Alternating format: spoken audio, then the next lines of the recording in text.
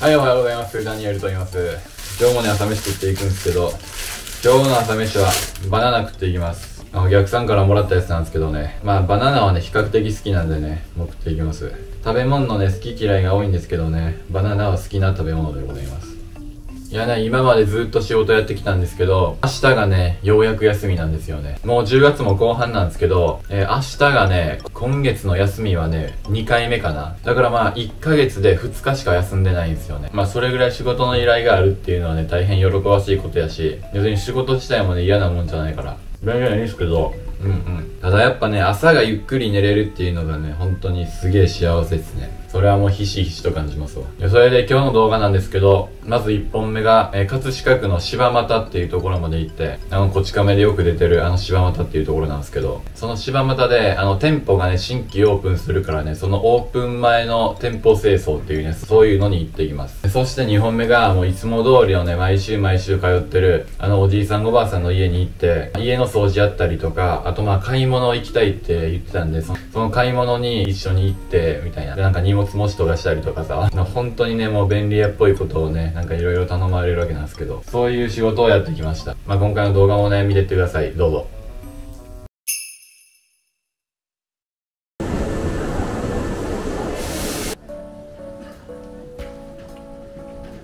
はい、おはようございます。今日ね、あの、葛飾区の柴又っていうところに来てるんですけど、そこでね、なんかわらび餅専門のね、店舗がね、もうすぐオープンするわけで、オープン前のね、店舗清掃っていうのにね、今日来てます。じゃあ行きましょう。本当にすげえ下町っぽい雰囲気なんですけどね、はい、ここです。この中の清掃やっていきます。わらび餅専門店、甘味どころ鎌倉、ここよろしいです。行きましょう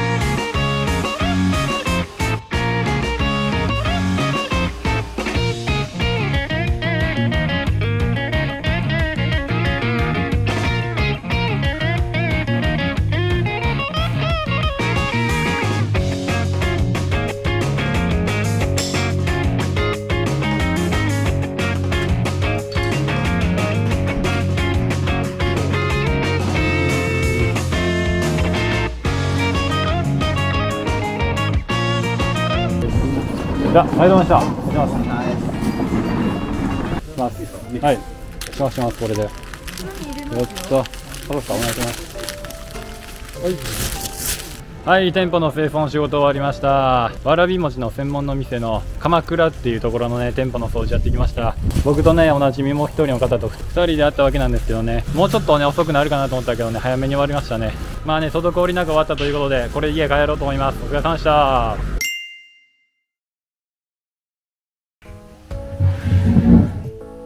今日トイレットペーパーとかはいはい。なんか書いてあるのがあるんだけどいいですか？あ、それを買いに行くんですか？あー、全然大丈夫ですよ。ありがとううん買ったけど全然いいんですよもう実施か。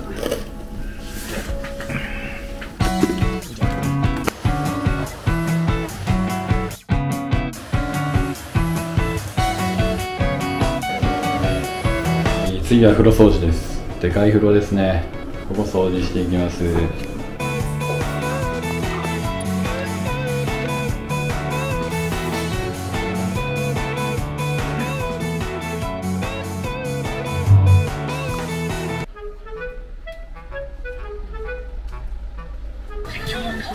おおいっぱいあるんですね。種類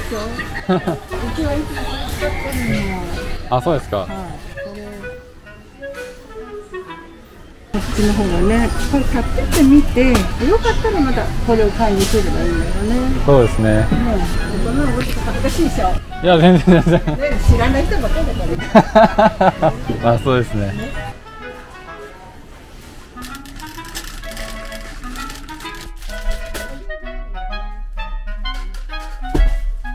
はいこの買い物したねトイレットペーパーとかあともろもろのやつをねお客さんの家に持って帰ろうと思います。じゃあ行きましょう。あのえのきのあの四つ角あたりらしいよ。あの分質が。言われつつあるから片山さん。弱りつつ。助けてあげていやね優しくしていただけありるがとうございます。今日ちょっと疲れてるからまたよろしくお願いします、わかりました。お願いします。ありがとういやゆっくり休んでください本当。はい、はいお疲れ様です。いついつも通りのね、あの、ご年配のね、夫婦の方々の家に行ってきました。この1万円というお金をいただきました。それとですね、今日外に出たんで、その時にこのケーキをね、買ってきてね、家で食べてや、みたいな感じで、まあ、ゆっくりね、これを食べようと思います。なかなかね、すごく美味しそうなケーキなんでね、これをね、じっくり食べようと思います。それではお疲れ様でした。はい。はい、じゃあ今日もね、飯食っていきますわ。いつも通りの納豆ご飯と野菜炒めでございます。野菜炒めもね、なんか色気がないというかね、本当に薄い色一色なんですよね。なんか暗いですよね。ちなみにこの豚肉、豚ロースやったっけ？横浜のお客さんからいただきました。よし。ちなみにこの天然水っていうのもね、今日行った千葉県のお客さんからもらいました。どんだけもらってんねんって話だけどね、本当に。今日もね、元気もりもりで生きているのはね、本当にお客さんからの差し入れのおかげです。皆様ありがとうございます。いや今日までねずっと忙しかったんですけど明日ねめちゃくちゃ久しぶりに休みなんですよ、まあ、休みって言ってもね動画編集溜まってるからそれせなあかんからさ、まあ、動画編集に大量に時間を費やす一日になるでしょうけど。でもまあ朝はねゆっくり寝ようかなと思いますね。じゃあ納豆を食っていきます。いただきます。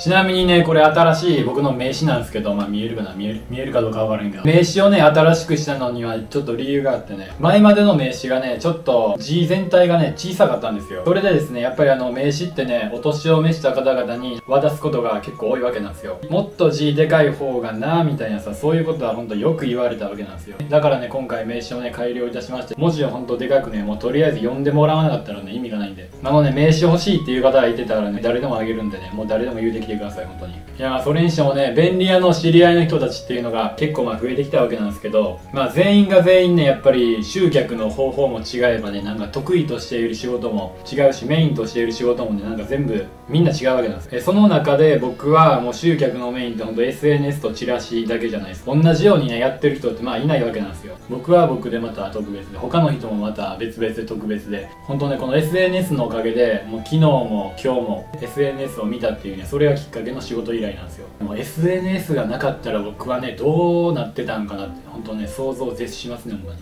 まあそれがなかったら本当ひたすらチラシを配りまくって世田谷区内ぐらいしか配れないんで、まあ、本当に完全な地域密着型の便利屋にやってたんかなと思いますけどね。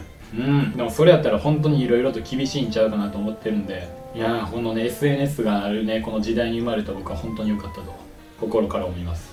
今日のお客さんもです。僕がねまあ直接行ったらねやっぱ僕が本人来てくれるなんて思ってなかったみたいなさそういうことを言ってくれて有名人に会えた気分やからすごく嬉しかったみたいな、ね、テンション上がったみたいなさそういうことも言うてくれるわけなんですよ。僕自身ね何の特別なこともない人間なんですけどねまあ SNS のおかげです全てもと。いうわけで今回の動画は以上です。ここまでご視聴ありがとうございました。チャンネル登録グッドボタンやっててください。それではお疲れ様でした。